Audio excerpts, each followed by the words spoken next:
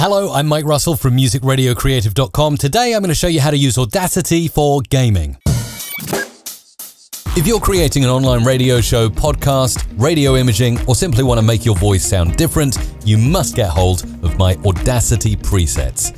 Head over to mrc.fm forward slash presets. Go and get them now at mrc.fm forward slash presets.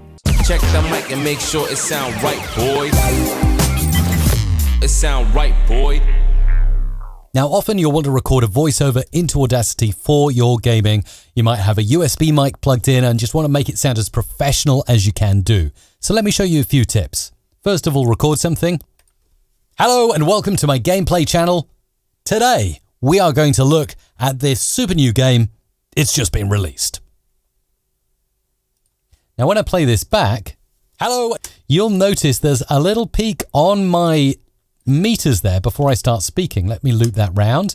And you'll see, yeah, I'm getting a peak up to around just above minus 48. So we'll call that minus 46.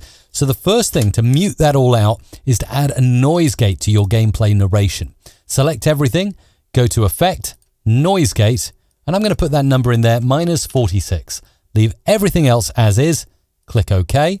And what that will do is eliminate any background noise from your dialogue. Let's play it back and you'll see now no background noise and only the Hello voiceover. welcome to my gameplay channel. Today, we are going to look at this super new game. It's just been released. Again, super professional. The moment you stop speaking, that noise gate will cut everything off. So super professional and clean sounding, particularly if you're in a room with lots of noise going on. Also, compression is good, and that's easy. Effect, compressor, and then we go ahead and add this on. Usually the defaults are quite good, minus 20 threshold.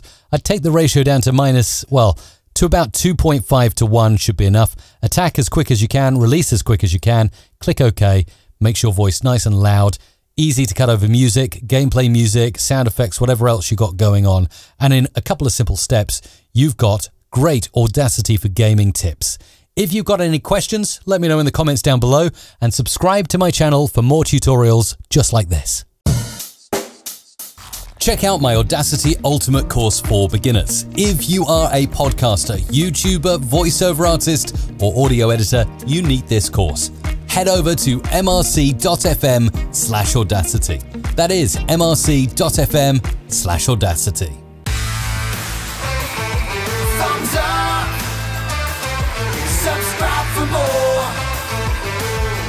Musicradiocreative.com